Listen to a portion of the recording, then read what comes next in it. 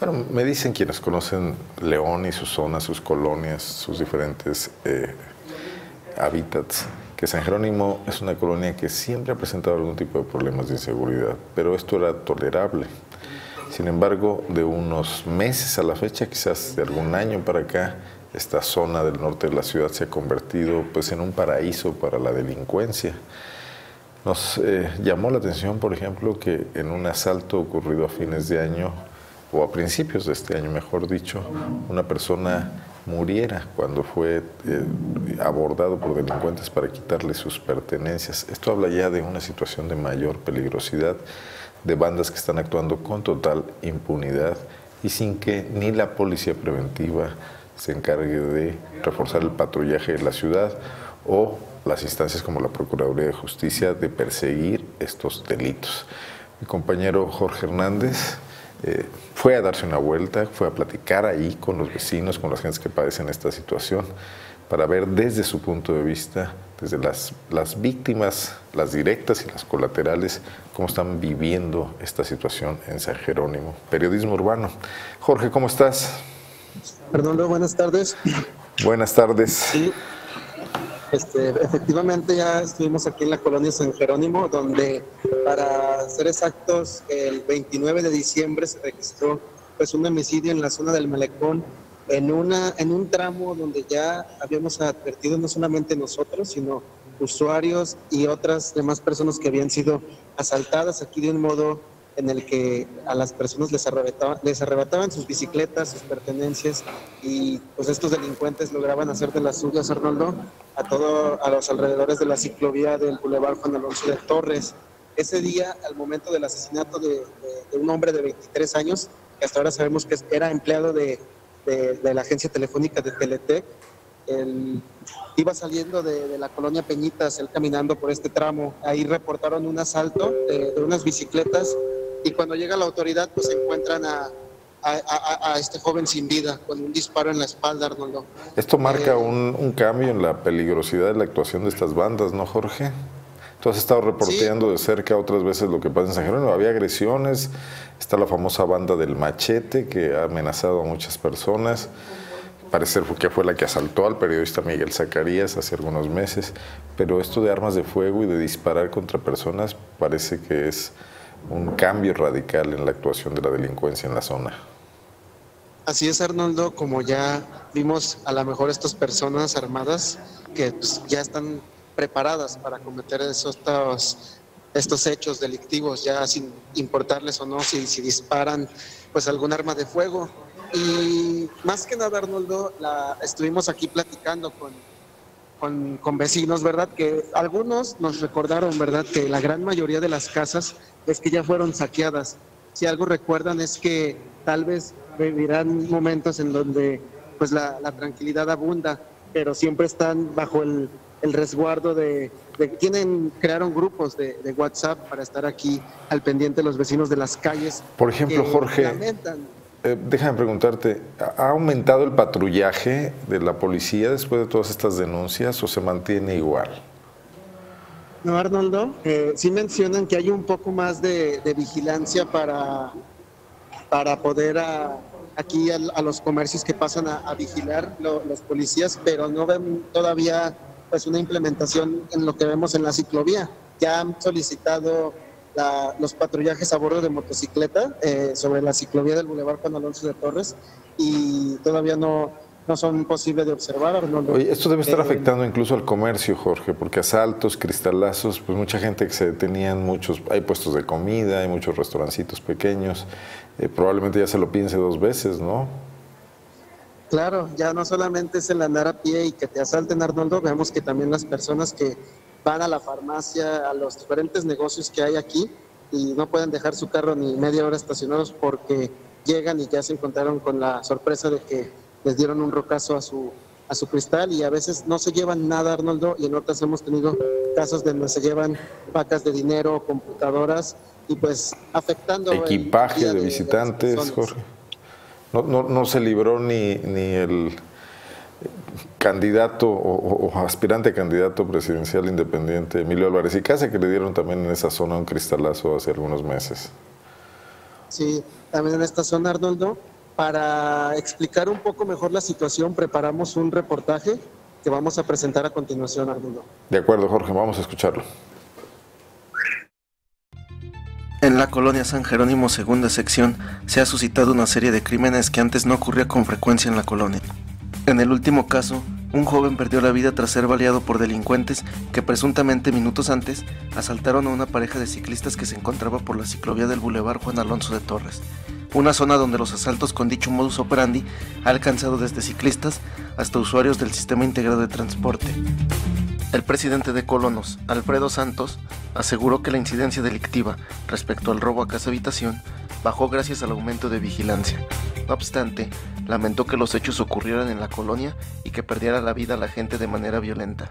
Ha habido robos que del celular y eso de gente que viene, que salen de aquí de, de ¿cómo se llama? De, de la terminal de autobuses y cruzan caminando hacia Valle de León y de diferentes este, colonias, ¿no?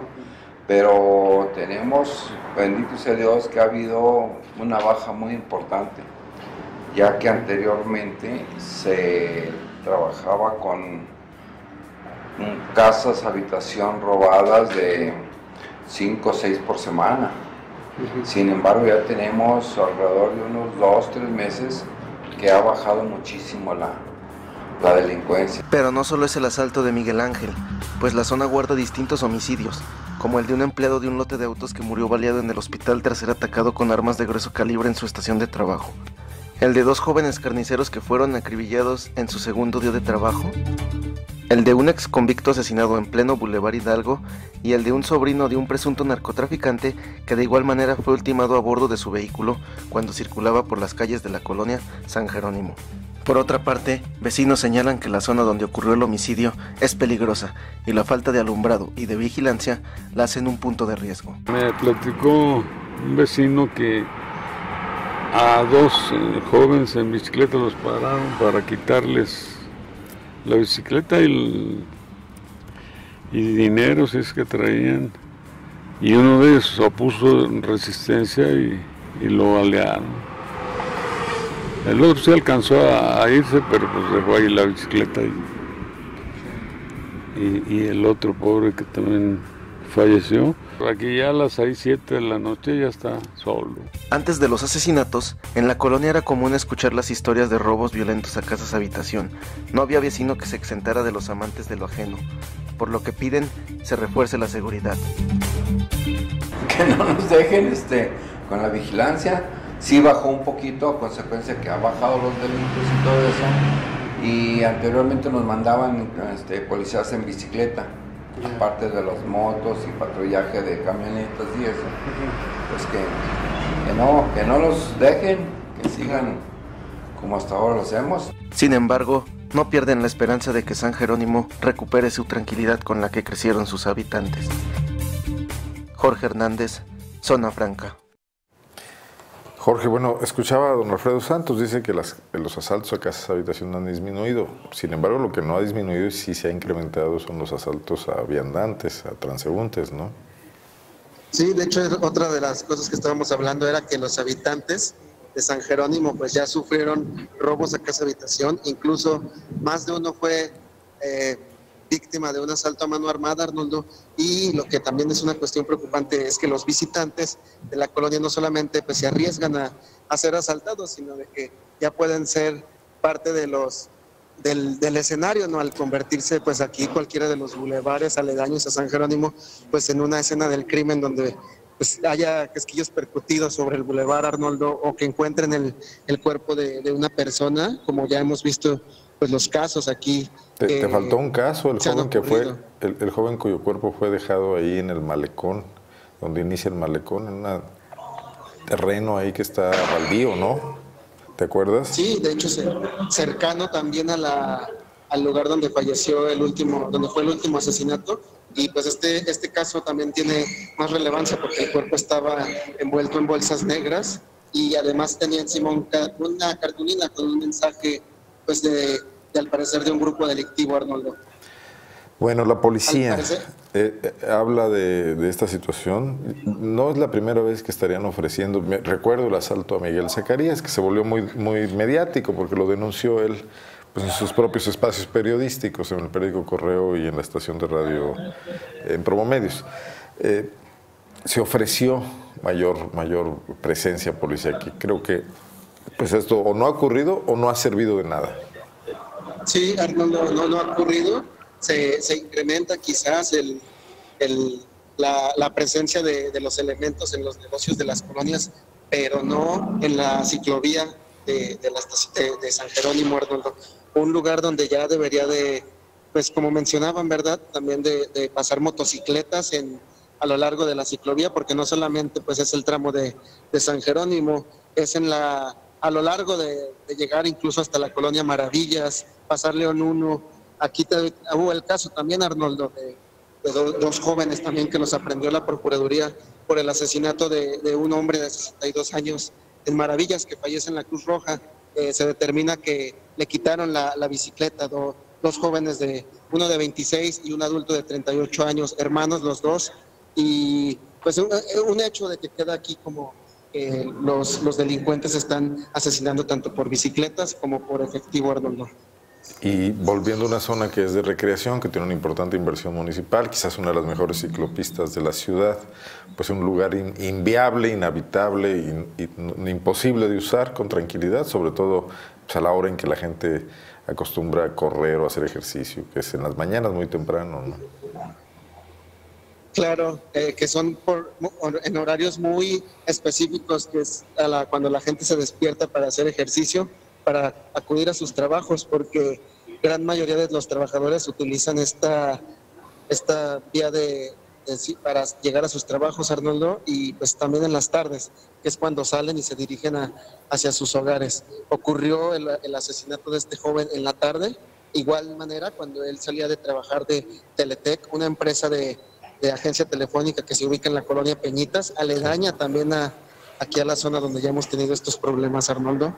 y que pues mencionan, el, mencionan vecinos que ya después de las 6, 7 de la noche, Arnoldo, ya el lugar está completamente pues, sin gente y sin, sin ausencia de la policía y con poco alumbrado, Arnoldo.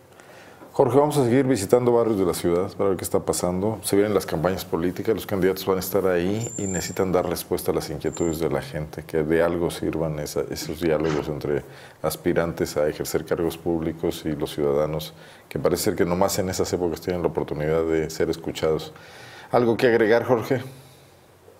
Eh, hasta ahorita sería todo, Arnoldo. Eh, en unos momentos agregaremos a la postura de de, Luis Alberto Ramos sobre pues, su opinión, si, si estos fraccionamientos han perdido plusvalía ante los hechos violentos que ocurren, quizá no directamente en sus habitantes, pero sí en, la, en sus lugares cercanos de, de, esparcimiento y recreación, y sobre todo en sus, cerca de sus domicilios. ¿Ahorita dónde te encuentras? Ahorita estamos precisamente en el Observatorio Ciudadano de León, donde pues Luis Alberto Ramos va a presentar el boletín de, bueno, presentó ya el boletín de incidencia delictiva del... A ver, algo que nos puedas platicar de qué dijo Luis Alberto Ramos, qué, qué, es lo que está observando. Termina el año con 356 homicidios dolosos. En León. Eh, hace énfasis... o sea, exactamente uno por día. Exactamente, y hace, el, hace énfasis en cinco asesinados que localizaron en la comunidad de Albarradones, eh, también comunidad de aquí de León, pero que se los adjudicaron al municipio de Silao en la región B, Arnoldo. Son cinco personas eh, asesinadas, vecinas de aquí de León, eh, abandonadas en un predio visitado por autoridades municipales en épocas electorales y que el día del asesinato eh, ya nadie se los quiere, de nadie resulta que es esta comunidad de Albarradones y son cinco muertos, Arnoldo, que terminarían en 39 homicidios el mes de diciembre, pero no nos está aquí posicionando la Secretaría de Seguridad Pública. Eh, estos homicidios quedaron... Ya se los quieren eh, echar a Silao, arrojar a Silao. Sí, se los arrojan a Silao, pero es gente de, León que por la forma en que fueron localizados los cuerpos, se presume fueron abandonados únicamente en ese terreno y asesinados, al parecer, en otro lado de la ciudad, Arnoldo. Muy bien. ¿Habló algo Luis Alberto Ramos del tema asaltos, secuestros, extorsiones? Sí, eh, habla sobre un incremento de, este delito, de, aparte de los homicidios, que, disminuye un poco el comercio, el robo a comercio y el de robo a casa, habitación, a pesar de que pues, las cifras se mantienen en una constante alta, por así decirlo, Arnoldo, en su comparación con dos años atrás, sí se ve un ligero, una ligera disminución de estos delitos, pero... Esto en el mes de diciembre.